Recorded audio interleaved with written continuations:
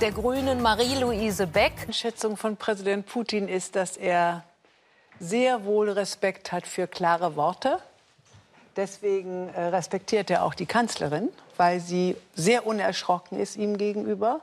Und ähm, ich glaube, dass äh, jemand wie Präsident Putin äh, mit einer gewissen Unerschrockenheit auch durchaus umgehen kann. Dafür ist er Manns genug, würde ich mal sagen. Das hat er ja immer mal wieder gezeigt, was für ein Mann er ist. Ähm, es kann nicht darum gehen, dass wir beiseite schieben, was tatsächlich passiert und vorgefallen ist. Ähm, und ich sage, dass wir das besonders aus Deutschland formulieren müssen, weil wir manchmal dazu tendieren, die deutsche Geschichte und die Empfindlichkeit, die noch besteht in den Ländern, die zwischen Deutschland und Russland liegen, sie zu unterschätzen. Das halte ich auch für einen Teil der Probleme der deutschen Öffentlichkeit. Ähm, es gibt wenig zu viel Russlandverständnis. Also wenn man die Medienauseinandersetzung sieht, sehen wir ja viele Runden, das ist dankenswerterweise heute anders, in denen deutsche und russische Experten sich über die Ukraine unterhalten.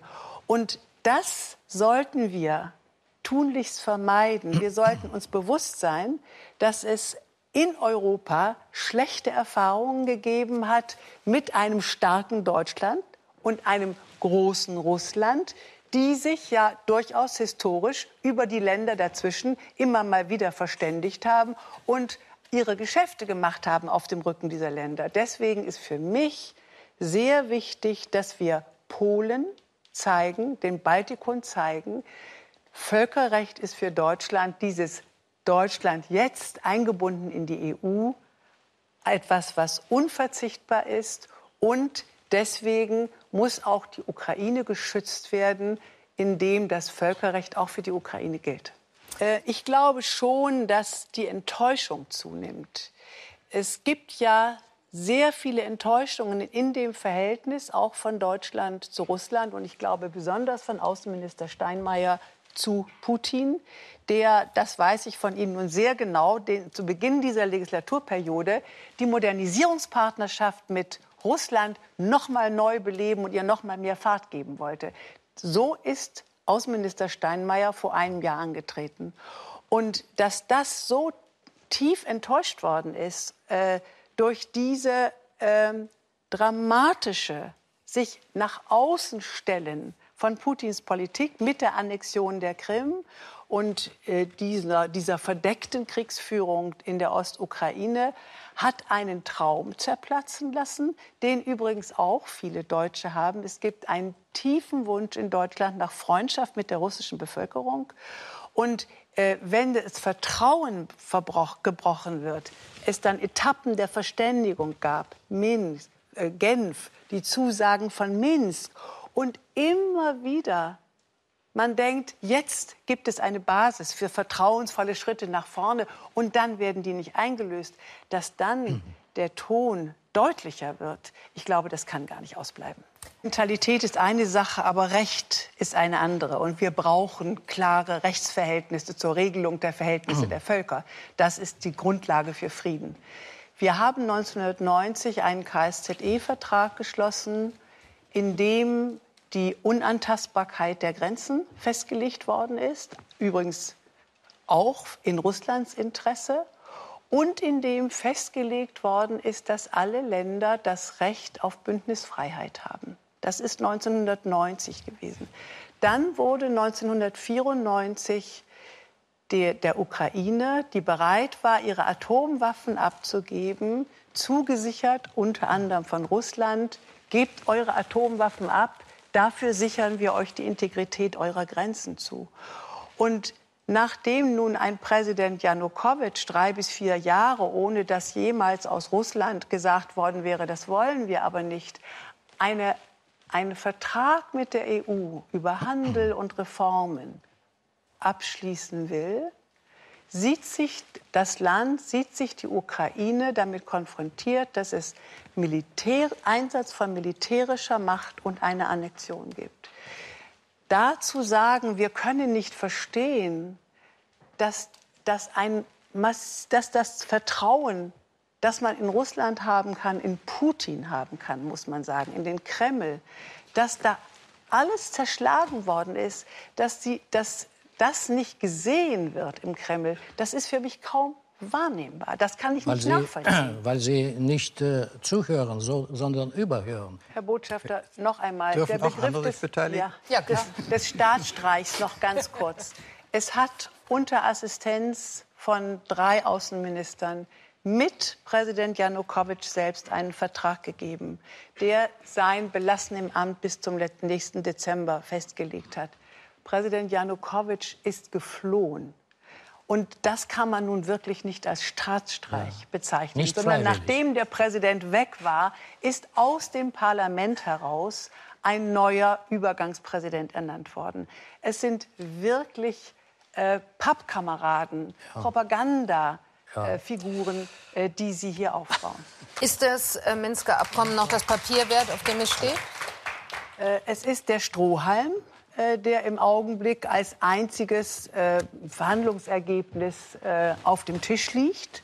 es ist eben aufgezählt worden, dass leider selbst dieses minimale Abkommen, was der Ukraine ja viel zumutet, weil die Annexion der Krim ausgeklammert worden ist, trotzdem selbst das nicht mit Leben erfüllt nicht ausgeklammert, nicht Ich möchte gerne, ja, das nicht ist eine. Gut. Es sind zwei verschiedene ich Dinge. Ich möchte gerne noch einmal sagen, dass mich die Interpretation, es geht nicht um Völkerrecht, sondern um Mentalitäten, absolut Unrecht macht, auch für unsere Zukunft in Europa. Äh, ich hatte einen äh, Kollegen im Europarat, der von der rechtsradikalen Jobbik-Partei mit einem T-Shirt durch den Europarat ging. Da stand vorne drauf, die Annexion der Krim ist legal. Und hinten auf dem Rücken stand, und die Karpaten gehören zu Ungarn. Wenn wir anfangen, nach Mentalitäten und dem Empfinden in, in unseren Ländern zu definieren, was wir meinen, was zu uns gehört und was nicht, und wo wir dann äh, Volksbefragungen abhalten lassen können, sogar unter militärischem Druck, und dann sagen wir, das Volk hat so entschieden, dann ist in Europa keine einzige Grenze mehr sicher und dann ist eben diese europäische Friedensordnung, von der wir immer sprechen, kaputt. Und das ist etwas, was dann unseren Frieden zerstört. Und deswegen, Herr Botschafter, ist das die Einladung, das Pochen, der Wunsch, dass Russland zurückkehren möge, dass der Kreml zurückkehren würde in die europäische Rechtsordnung, ist so wichtig für uns alle und auch für Russland. Denn als Tschetschenien sich lossagen wollte von Russland, wurde sehr massiv dagegen vorgegangen, wenn ich daran mal erinnern darf. Hat zeigt da nicht an irgendeiner Stelle auch recht, wenn er sagt, naja, irgendwann müsste der Klügere mal nachgeben und möglicherweise dann eine völkerrechtliche Regelung der Krim-Frage auch in dem ähm, Maße sehen, dass vielleicht dann zum Schluss die Krim bei Russland bleibt? Nun hat Matthias äh, Platzek diese erst, dieses erste Zitat ja relativiert. Er hat verstanden, es, dass es. Äh, relativiert. Es ist jetzt nicht so ganz klar, was damit gemeint ist. Die Klarheit könnte sein, völkerrechtlich ist klar. Äh, und das sagt auch unsere Bundesregierung, das sagt die Europäische Union und das würde auch jedes internationale Gericht sagen, die Krim gehört völkerrechtlich zur Ukraine. So. Was mich beunruhigt, wenn aus Deutschland Vorschläge kommen, Überlegungen kommen, wie ein anderes Land Teile seines Landes vielleicht abgeben müsste. Und da möchte ich sagen, gehen Sie nach Estland, gehen wir in Deutschland nach Estland. Es gibt dort eine große russischsprachige Bevölkerung. Äh, die Blaupause, wie solche Abstimmungen inszeniert werden, konnte man im Donbass und auf der Krim sehen. Wenn wir in Deutschland jetzt sagen, wir halten das für möglich, dass nach einer Gewalt gewaltsamen Annexion, mit Militär herbeigeführten Annexion. Und Präsident Putin hat selbst ja gesagt, dass das russische Militär dort sehr erfolgreich gewesen sei. Wenn danach wir dahergehen und sagen, wir halten das für denkbar, wird in den Ländern, die zwischen Deutschland und Russland liegen, die Nervosität groß. Deswegen finde ich es unglücklich, sehr unglücklich, wenn aus deutschem Munde von einem nicht unbedeutenden Politiker solche Überlegungen in den Raum gestellt werden. Wir dürfen nicht für die Ukraine erklären, dass ihnen das doch zumutbar ist, dass sie einen Teil ihres Landes abgeben. Das dürfen wir nicht. Wir haben, es gibt, wenn wir auf Polen schauen, es hat polnische Teilungen gegeben zwischen Deutschland und Russland. Das ist im historischen Gedächtnis dort noch da und deswegen ist unsere Sensibilität sehr gefordert in diesen Fragen. Frau Beck, Matthias Platzek, Herr von Stuttnitz und Sie sind alle Mitglied im selben Verein. Das ist, das, äh, ist der, der ähm, Petersburger Dialog. Dazu gehört auch angeschlossen das Deutsch-Russische Forum, dessen Vorsitzender Platzek nun ist. Vorher war es Herr von Stuttnitz. Sie ähm, rangeln sich da, glaube ich, ein bisschen in diesem Verein im Moment. Es gab ein es gab Ende Oktober ein Treffen, das angesetzt war in Sochi. Das wurde abgesagt. Gestern gab es eine Mitgliederversammlung in, ähm, hier in Deutschland, die war geplant worden, ist auch abgesagt worden. Ist es klug, Herr Grinin hat es eben angesprochen. Ist es klug, weil sich offensichtlich die Mitglieder nicht eins sind in dem Maß ihres Verständnisses für Russlands, äh, das letzte verbliebene Gesprächsformat äh, durch Dauerverschieben praktisch zu schließen? Nein. Äh, es geht um eine Reform des Petersburger Dialog. Er ist zehn Jahre alt. Nach zehn Jahren ist es immer mal Zeit, die Tapeten zu erneuern. Wir haben in diesen zehn Jahren eine deutliche Verschiebung gehabt von der eigentlichen Intention, nämlich die Zivilgesellschaften sollen sich treffen, zu immer stärkerer institutionellen äh, organisierten Treffen. Und es geht jetzt darum, und das ist eine, ein Wunsch der NGOs aus Deutschland, der Nichtregierungsorganisationen. Der Nichtregierungsorganisationen aus Deutschland, die eigentlich das Kernstück der Idee waren und der Nichtregierungsorganisationen in Russland, diesen Dialog wieder stärker an seine eigentliche Intention heranzuführen. Es geht um eine Reform. Es geht nicht darum, ihn abzusetzen.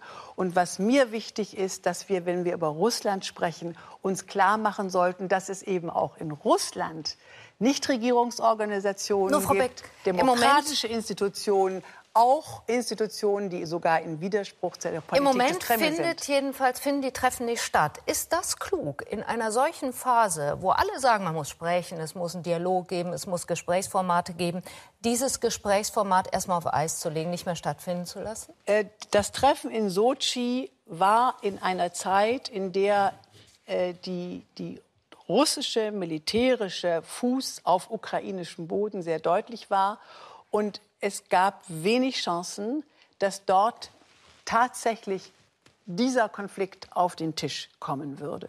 Und deswegen haben vor allen Dingen auch westdeutsche NGOs äh, gesagt Sie und, und Herr auch und Herr von der CDU gesagt, gesagt, wir nehmen nicht jetzt teil. lasst uns bitte mal eine Auszeit nehmen. Ist das gut? Da, ich halte das für richtig, weil wir nicht so tun können, als ob nichts passiert wäre. Er soll so verändert werden, dass tatsächlich die Zivilgesellschaft sich wieder trifft. Wir haben inzwischen eine sehr starke, auch finanzielle Dominanz äh, des Ostausschusses der deutschen Wirtschaft. Wer zahlt, bestellt, ein alter Grundsatz. Und was wir müssen, machen müssen, ist, wenn es mutige Organisationen wie die Soldatenmütter in Russland gibt, die dafür verfolgt werden, dass sie sagen, unsere Söhne sind in der Ukraine im Krieg gefallen, dann müssen wir in einem Dialogforum, in dem die Zivilgesellschaft sich treffen, von unserer Seite alles dafür tun, damit diese Gruppen auch zu Wort kommen können und dass sie nicht verfolgt werden. Derzeit sind alle Partnerorganisationen, die wir haben in Russland, als ausländische Agenten gelabelt durch den Kreml. Sie haben kaum mehr Luft zum Atmen. Und wir haben die Aufgabe, ihnen Luft zum Atmen zu verschaffen. Also sagen Sie dasselbe wie Herrn von Stuttnitz. Es muss mehr Russlandkritik geben im Petersburger Dialog. Es muss mehr Stimmen geben, die äh, äh, sich trauen können, gegen den Kreml zu reden. Sonst können wir tatsächlich äh, Treffen machen zwischen den Institutionen von Gazprom und von Kreml und mit äh, deutschen Abgeordneten und der deutschen Wirtschaft. Dann ist es aber nicht mehr der, Zi- der Dialog der Zivilgesellschaft. Die Ökologiegruppe Wäre das- jetzt doch deutlicher. Wir haben inzwischen eine so massive Repression von Institutionen, die dem Kreml nicht passen, dass sie sogar zusagen müssen. Und das ist wirklich bedenklich. Wir dürfen nicht die Kulisse abgeben für einen Dialog, der nicht wirklich frei ist, weil die russischen Initiativen fürchten müssen, dass wenn sie Sonntagabend rausgehen aus dem Dialog, Montag die Staatsanwaltschaft ihre Räume durchsucht. Und so etwas müssen wir benennen. Und das ist, glaube ich, die Differenz, um die es geht. Er hat gesagt, Frau Beck, es käme nicht in Frage, dass die Ukraine Mitglied der NATO wird. Macht er da einen riesigen Fehler? Denn die NATO pflegt doch eigentlich den Grundsatz der Bündnis, äh, der freien Bündniswahl. Ich halte das für eine schwierige Aussage. Er hat es getan, weil jetzt gesagt wird, äh, es darf keine weitere Reizung von russischen Interessen geben. Und derzeit steht es ja auch tatsächlich nicht auf der Tagesordnung. Die Schwierigkeit. nun, jetzt hat die Regierung es notiert im Koalitionsvertrag. Es wird erstmal eine? Volksbefragung Und geben. strebt es wird es erstmal an. eine Volksbefragung geben. Und es war so, dass bisher die ukrainische Bevölkerung mehrheitlich der NATO nicht beitreten Das hat sich wollte. aber geändert. Sich Bis geändert. zum Maidan. Warum? Das hat sich nun leider, Warum? leider durch diese Erfahrungen äh, geändert, weil sie mit einer militärischen Aggression konfrontiert worden sind. Das Drama ist, dass 2008, als die Ukraine angeklopft hat bei der NATO, die deutsche Bundeskanzlerin in Bukarest gesagt hat, nein, denn das würde gegen Russlands Interessen stehen. Und es wäre ja, wenn es gut gegangen wäre und es wäre nicht die Folge eine militärische Intervention gewesen, wäre es ja wunderbar. Aber jetzt stellt sich das natürlich anders dar. Ich glaube, es steht heute nicht auf der Tagesordnung. Es wird in Finden den kommenden? Jahren auf der Tagesordnung stehen. Ich habe damals, als Polen dann angeklopft hat, gesagt, wer bin ich aus Deutschland, dass ich den Polen untersagen darf, dass sie beitreten möchten. Und was sagen Sie jetzt in Bezug auf die Ukraine? Da warte ich jetzt ab, was von der Ukraine kommen wird. Ich noch kurz sagen, was wenig bekannt ist. Es hat äh, von Clinton eine Einladung gegeben an Jelzin, dass Russland der NATO beitreten solle in der Perspektive. Das heißt, wir haben Zeiten gehabt, wo die Hoffnungen groß waren, dass tatsächlich nach der Überwindung des Kalten Krieges diese gemeinsame Sicherheit nötig wäre. Deswegen auch die Einladung von Russland in den NATO-Russland-Rat. Russland ist das einzige Land, das nicht der NATO angehört, das in Brüssel mit in der NATO am Tisch sitzt. Also wir, es ist unendlich viel kaputt gegangen mit der Aggression gegen Georgien. Das Ja. haben wir Auch darüber haben wir Moldau. heute Abend nicht gesprochen.